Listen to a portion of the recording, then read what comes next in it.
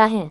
राक्षस कम्ब और उसकी राक्षसी सेना ने भगवान शिव की गहरी तपस्या की और कई पुण्य प्राप्त किए। अंत में भगवान ने राक्षस कम्ब को दर्शन दिए और मनचाहा फल मांगने को कहा, राक्षस ने बलवान, यशस्वी होने का आशीर्वाद मांगकर भगवान शिव ने प्रसन्न होकर राक्षस को आशीर्वाद दिया। मिन में चूर राक्षस ने स्वर्ग पर हमला कर सभी देवताओं को हरा दिया और स्वर्ग पर कब्जा कर लिया। तब देवता मारे मारे फिरने लगे। तब उन्हें नारद मुनि मिले, उनकी सलाह पर इंद्र देवता दत्तात्रेय के पास गए और अपनी करुण कथा का बखान किया। दत्तात्रेय ने मुस्कुराकर देवराज इंद्र से कहा, हे इंद्र, तुम कुछ भी करके राक्षस कम्भ को मेरे पास भेज दो, उसके बाद तुम्हारी समस्या का अंत निश्चित है देवराज ने यही किया, किसी तरह से कम्भ को भगवान दत्तात्रेय के पास भेजा। उस वक्त दत्तात्रेय के साथ माता लक्ष्मी बैठी थी, जिन्हें देख राक्षस मंत्र मुगध हो गया और उनका हरण कर राक्षस कम्भ उन्हें अपने साथ ले गया। यह देख देवराज ने परेशान होकर भगवान से पूछा, यह क्या हो रहा है? आप कुछ करते क्यों नहीं? भगवान ने कहा, तुम्हारे कारण हुआ, तुम ही जाओ और माता लक्ष्मी को सही सलामत लाओ।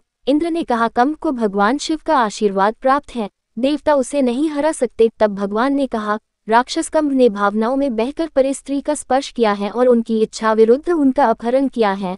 अब उसके सारे पुण्य पाप में बदल चुके हैं। वह अत्यंत ही निसहाया है और निर्बल है। अतएव यह उपयुक्त समय है। उस पर हमला करो और माता लक्ष्मी के साथ इंद्रलोक को भी पालो। इसमें छुपी शिक्षा पराई स्त्री पर बुरी नज़र रखने वाला कितना ही बड़ा पंडित क्यों ना हो, वो पाप का भाग ही होता है। और उन जैसों का साथ देने वाले भी उतना ही भोगते हैं।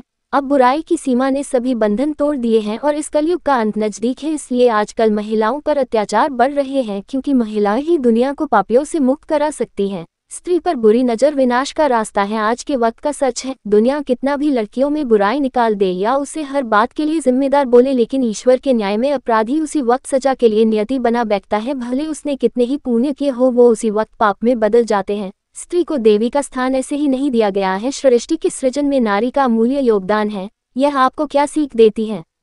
क्या आप इस लड़ाई में लड़कियों के साथ हैं? या आप क्या सोचते हैं इस विषय में?